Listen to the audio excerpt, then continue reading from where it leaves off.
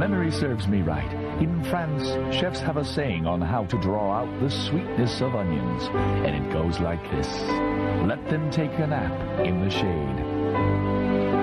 This means before you cook onions, make sure you let them sit in the shade for a while and let them discharge excess water and the stinging flavor. By doing this, they mature, thus heightening the sweetness of the onions.